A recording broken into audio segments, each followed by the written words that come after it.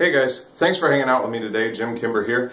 Uh, got a quick little blurb. I read something in the business section of the paper today about the death of some major retailers and look at what's happening to the future of retailing. So if you're in retail or you know people in retail, stay tuned. I've got a quick couple of things I'm going to discuss and I'll get right back with you in just a minute, guys. Thanks.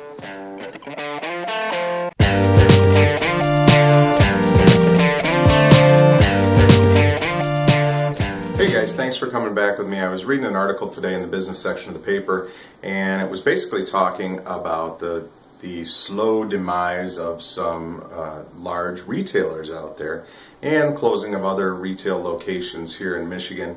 And it's a problem that's affecting the whole um, United States right now. Is that as people make a shift to doing more purchasing online, more purchasing from companies like Amazon and and more purchasing of their products and services through you know direct sales companies the the retail stores and the huge conglomerates that are out there are feeling the squeeze and they're having a hard time making profits. I mean there's been some pretty major bankruptcies in the last few years for some really really huge uh, companies out there. I don't want to go into listing names or anything like that. If you've had your ear down on the business world you'll know that there's quite a few of them that have gone through some major problems well, how does this apply to what I'm talking about typically on my blogs? Well, how it applies is this.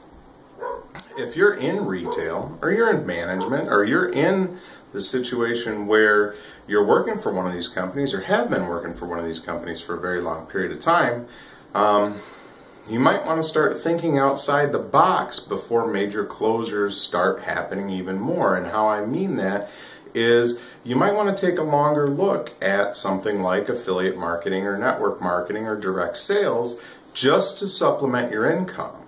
Now, if you get involved in a program that's a good fit for you and you start generating two, three, four, five hundred dollars extra a month and you start putting that away and you start building your skills and your your leadership and your capabilities and and um, things like that over the next period of time, part time, where it doesn't affect what you're doing regularly for your 40 hour week or 45 or 50 hour week job, um, you're going to be in a better position should something like that happen to you. I mean, we've had several retail locations closed down here in Michigan that put out put out of work 50, 100 people and you know now they're going to hit the unemployment lines whereas if they had started a couple of years ago and and built a uh, secondary income on the side in a network marketing or direct sales or affiliate marketing program, they'd be sitting in a lot better situation right now. So the the the world is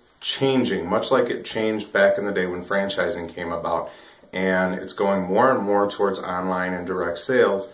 So if you're out there and you're considering the fact that you might get downsized at some point in time, you may want to look into direct sales. And you don't have to look into it directly with me or, or anybody else for that matter. You probably know somebody that's in direct sales and you can do some digging around on the internet and find some companies that may resonate with you and go from there. Anyways, that's my tip from, for today, guys. Uh, just wanted to cover that and I hope you got value from it.